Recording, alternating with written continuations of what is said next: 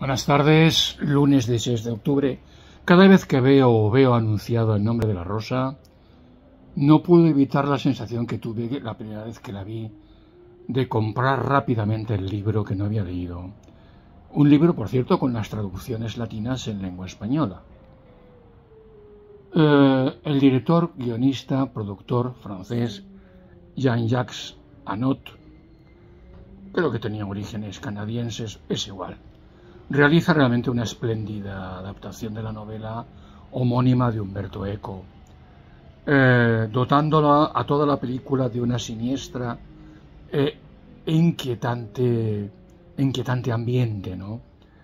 La película recoge fundamentalmente la trama policíaca de la obra de Eco, con un personaje principal, Guillermo de Baskerville, que reúne las virtudes de racionalidad y observación del, filósofo Guillermo de Ockham, en contraposición de la superstición, el misterio que rodea y todo esto. digamos que estamos ante la inteligencia de Sherlock Holmes, de la novela del sabueso de los Baskerville.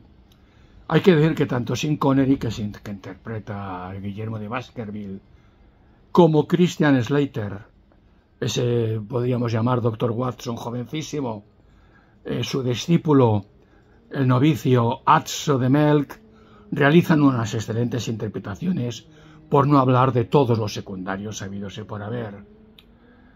Eh, la película eh, nos, refleja la Inquisición, nos refleja todo un mundo, todo un mundo siniestro, de olores casi casi lo percibes, ¿no?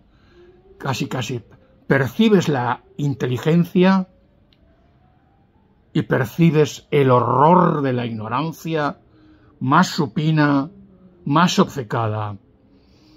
Tal vez no hemos cambiado demasiado.